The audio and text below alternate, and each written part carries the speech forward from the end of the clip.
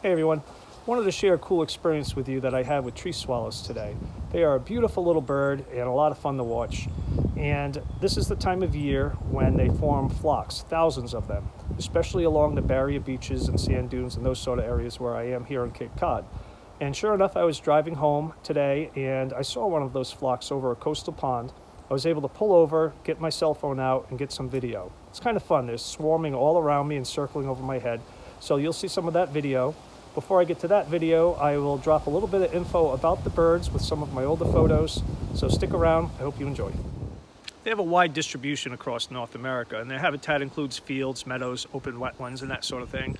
And they're cavity nesters, so where they don't find natural holes in trees to use as nest sites, they will quite readily take to man-made structures like nest boxes that are built for eastern bluebirds. Same size hole works well for them.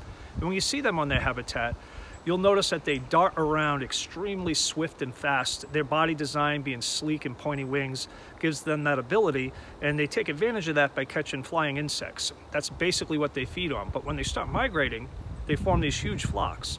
And in these large flocks, they'll land up in these coastal areas, and they actually have the ability to switch their diet to fruits and berries. So you'll see them feeding on juniper berries and bayberries and those sort of things along the barrier beaches here.